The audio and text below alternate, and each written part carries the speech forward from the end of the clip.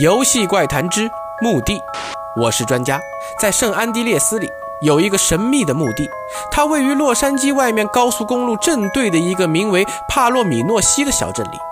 首先可以看到一个巨大的广告牌，广告牌上有一张怪异的笑脸和一串文字。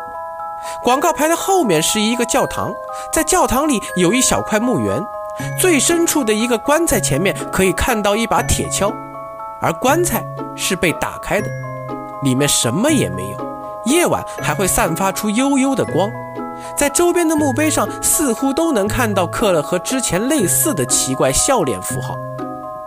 由于让人琢磨不透，在多年后，官方终于针对这个地方写了一篇短文，解开了谜题。而这篇短文的标题叫做《暴露的棺材》。这座石棺在当地广为人知，而这个铁锹其实暗指了一个美国著名的连环掘墓案。犯下这个案件的人就是当年轰动一时的爱德华·西奥多·盖因。还记得之前广告牌上的文字吗？翻译过来就是“驱车前往忏悔会”。游戏里的这个地方就是为了告诉大家，不要忘记这个事件，并且珍惜美好的一切。